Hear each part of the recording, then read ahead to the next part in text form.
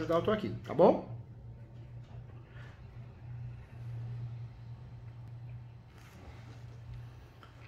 É, o processo de uso capião, é, muita gente fala, ah, mas é, é, é, demorado. Não, já foi demorado. Você pegar o processo de uso capião físico, hoje o processo é digital. É, eu tenho decisões no escritório, Fórum de Osasco, que o processo de uso capião judicial durou menos de um ano. Então depende muito do local, do local, da região, do juiz, da juíza. É, o que eu vejo hoje, que os processos de uso capião, eles duram em média um ano e meio até três anos. Pode ser mais? Pode, no seu caso. Pode ser menos? Pode, como em qualquer pessoa. Mas a média é essa, tá?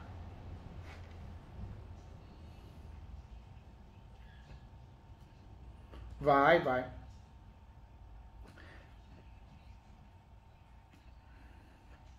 Vai, vai. É, mas aí que tá. Aí nós... mas nós vamos pro lado do quê? Que o uso capião é um direito sui generis, né? É um direito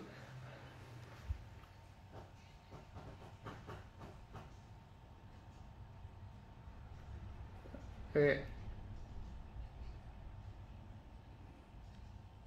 É, é. Verdade, verdade. Conversa com a sua mãe direitinho, qualquer coisa eu tô aqui, tá bom?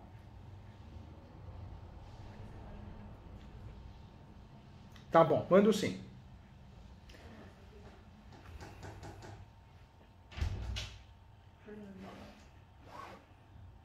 Tá bom. Fica com Deus, tá? Se cuide. Saúde para vocês, viu? Gratidão. Tchau. Tchau, tchau.